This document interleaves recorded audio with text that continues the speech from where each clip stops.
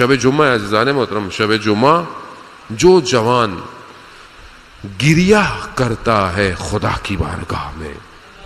समंदर की मछलियाँ उसके लिए मगफरत की दुआ मांगती है